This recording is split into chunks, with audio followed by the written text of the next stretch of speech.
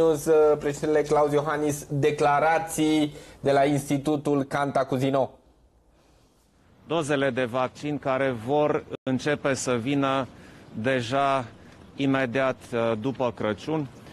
Aici la Cantacuzino s-a creat un centru special.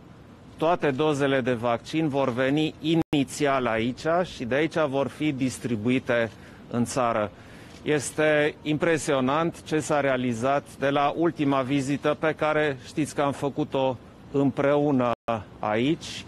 S-a realizat o sală cu totul nouă pentru uh, tipul de vaccin care necesită păstrare la temperatură joasă. S-a realizat un flux pentru vaccin, pentru personal, totul ca la carte. Uh, acest container este o mostră, dar care poate fi replicată rapid de centru de vaccinare în container, care poate fi folosit în zonele unde nu există altă posibilitate. Mașinile care duc cutiile cu vaccin le vedeți aici și am discutat cu toți cei implicați, procedurile, felul cum se transportă. Pot să vă spun că totul este organizat. Totul este organizat nu teoretic, practic. Lucrurile vor funcționa și imediat după Crăciun vom intra direct în campania de vaccinare. Vreau să repet câteva lucruri despre cum va fi campania de vaccinare. Dozele de vaccin nu vin toate deodată, vin în tranșe. Prima dată vine o tranșă mai mică, simbolică, de 10.000 de doze, care va fi administrată imediat, încă în acest an. Și începând din ianuarie vin doze mai mari. Noi credem că uh, cel puțin 100.000 de doze pe săptămână sau mai mult pe măsură ce se poate vaccina mai mult.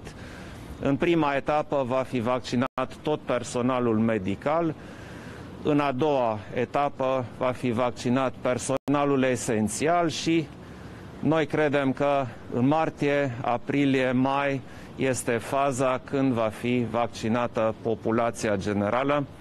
Important de știut, vaccinarea este voluntară, nu-i nimeni obligat, dar noi recomandăm tuturor să se vaccineze, fiindcă această vaccinare este singura, repet, singura cale de a scăpa de pandemie. Vom avea diferite tipuri de vaccin. Toate sunt foarte bune, toate sunt autorizate la cele mai înalte, înalte standarde europene. Toate sunt eficiente, adică își fac efectul tare organizate de Ministerul de Interne.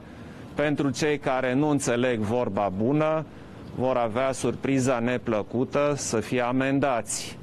Restricțiile, repet, nu sunt doar așa ca să fie și respectarea lor este obligatorie.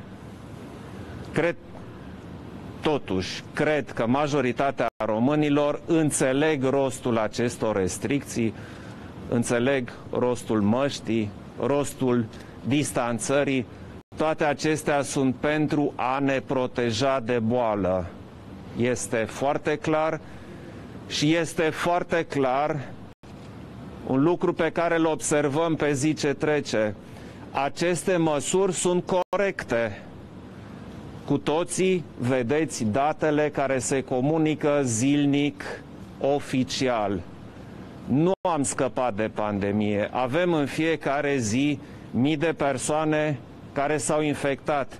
Însă numărul de la o zi la alta nu mai este în creștere, cum din păcate a fost, uh, de exemplu, în noiembrie. Lucrurile s-au stabilizat și se poate chiar observa o mică scădere, însă să nu o înțelegem greșit. Nu este momentul pentru relaxare. Chiar dacă începe campania de vaccinare, până când nu, până când nu va fi toată lumea vaccinată, nu putem să ne relaxăm.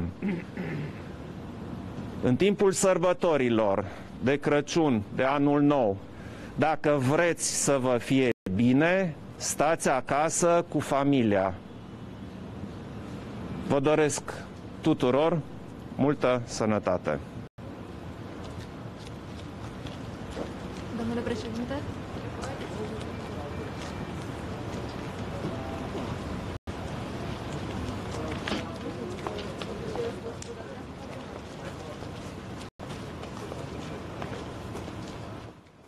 Președintele Claus Iohannis în vizită la Institutul uh, Cantacuzino. Uh, luăm pauză de publicitate, ne revedem la 14 fix cu